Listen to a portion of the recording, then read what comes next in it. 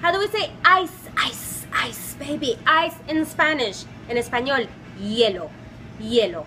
Ice, hielo. There you have it. See you next time for the next lesson. Hasta la próxima.